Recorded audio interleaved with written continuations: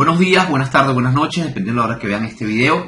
Vamos a hacer un pequeño resumen, un pequeño análisis sobre la situación del oro que creo que está llegando a un nivel bastante importante.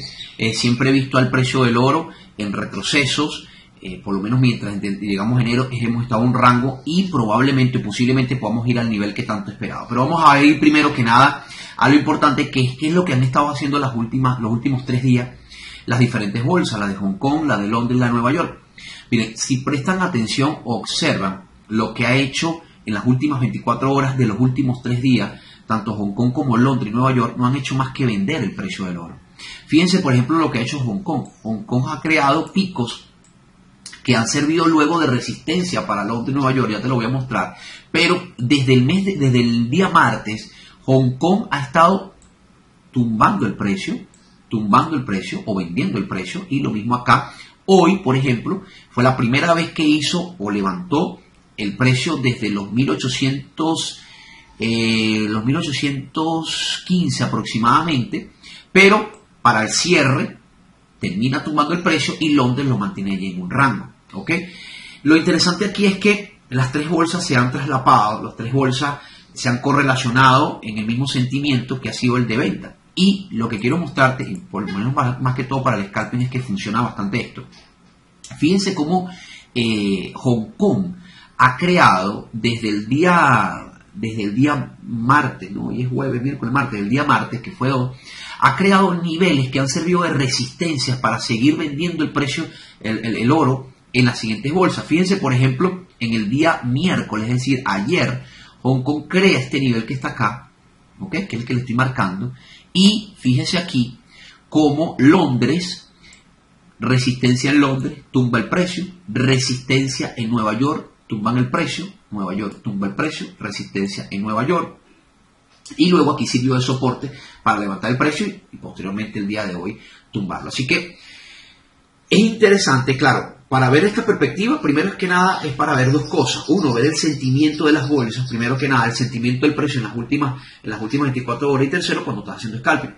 Depende de lo que quieras hacer, tú vas a ver tus temporalidades. Por lo menos yo quiero invertir y eso es lo que quiero mostrarle. Y quiero meterme en una posición en el oro bastante larga. Estoy buscando el mejor nivel y me ha tocado esperar bastante. Mientras tanto, he estado haciendo el scalper en una cuenta pequeña que tengo para posteriormente colocarla, ofrecerla como copy trader.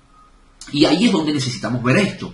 Pero en, en, línea general, el precio del oro no ha salido del rango de 4 horas que tanto he hablado y que tanto he mencionado y que tanto he esperado una ruptura a la baja. Porque si les soy honesto, yo he querido que el precio del oro rompa a la baja. Ojo, no quiero que se me malinterprete lo siguiente. Yo no estoy diciendo que el oro vaya a caer. El gráfico del oro en semanal está alcista. Los fundamentales acompañan a que el precio del oro vuelva a los 2000. El punto es que quizás no sean estos momentos en que el precio del oro vaya a reventar al alza. Y para que eso pase, o antes que eso pase, a mí me gustaría posicionarme lo más bajo posible. Para hoy, 4 de febrero, Fíjense cómo Hong Kong crea, observen acá, Hong Kong crea un pequeño nivel que está sirviendo o que va a servir posiblemente, ya está sirviendo de hecho, en Londres como posible resistencia. Este nivel que ha creado Hong Kong, fíjense cómo para la, apertura de Londres crea resistencia, tumban el precio y está allí buscando otra vez ese nivel.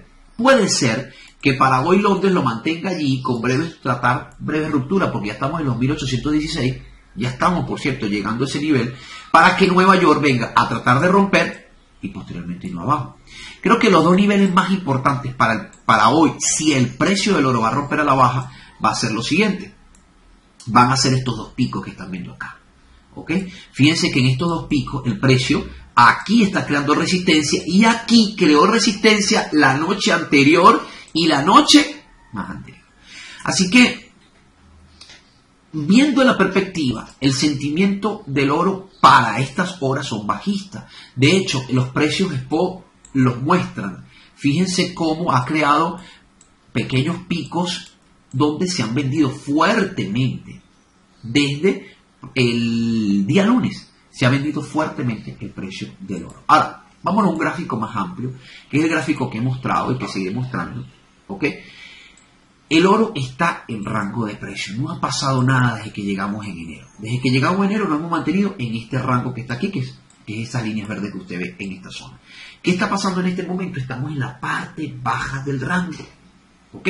Si queremos invertir, bueno, por lo menos en mi persona, yo estoy esperando este nivel, que este nivel fue el que creó en diciembre cuando él hizo la primera subida. Subida en la cual yo no me monté porque yo, sea, en teoría yo decía, bueno, precio si va, puede ser que le reviente y listo y se fue. Pero él tiene que venir a buscar esta liquidez y estábamos en diciembre. Diciembre y enero para mí eran dos meses que, como de incertidumbre, vamos a decirlo así, donde la, la, teoría me podía decir a mí que el precio podía venir otra vez a nivel y ahí sí me montaba yo en una posición. Y es lo que estaba esperando. Mientras tanto, mi comunidad privada y mi persona lo que hemos hecho es acumular acciones mineras económicas en esta zona. Porque si el precio del oro revienta, pues nosotros nos vamos con esa subida. ¿Y saben qué hice el lunes? El día lunes, y lo pasé en video por la por eso es importante que vayas al Telegram, al Telegram del canal oficial. Cuando llegamos a este pico el día lunes, yo no vendí oro, yo vendí el ETF del oro. Y fíjense cómo ya para el día de hoy voy a cerrar prácticamente con un 10, un 11% de la venta. Interesante. Cuando entendemos el mercado, nosotros podemos ver todas estas perspectivas. ¿Ok? No se trata de saber más que otro, se trata de entender lo que otro no está entendiendo. Muchas personas se meten en los mercados cuando ya el precio ha subido. Y tienen que entender que esto funciona al revés. Cuando el precio está cayendo, es que nosotros tenemos que buscar puntos importantes de compra, de inversión, porque si la perspectiva es alcista, el precio va a volver a levantarse. Ya cuando el precio está ahí en esos picos, ya meterse no tiene sentido. Si te vas a meter, te metes abajo, cuando todo el mundo tiene nervios. Así funciona esto. Así que para hoy, hoy jueves, perdón, yo tengo problemas con los días. Para hoy jueves, 4 de febrero, mi perspectiva del oro es que seguimos en el rango, pero en una zona interesante como en la parte baja. Ahora, ¿qué quisiera ver yo?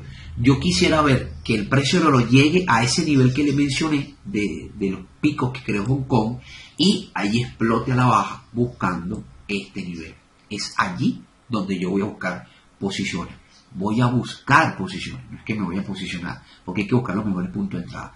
Te dejo este análisis para acá y te invito, si es primera vez que ves este video, que vayas a la comunidad oficial de, Telegram que tenemos, donde constantemente estoy subiendo información eh, sobre los diferentes mercados, específicamente los metales, las acciones y las criptomonedas. Te espero por allá. Saludos.